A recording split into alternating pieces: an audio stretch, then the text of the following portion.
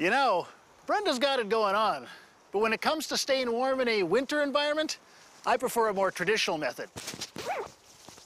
Hot tub. Oh, hey, ladies.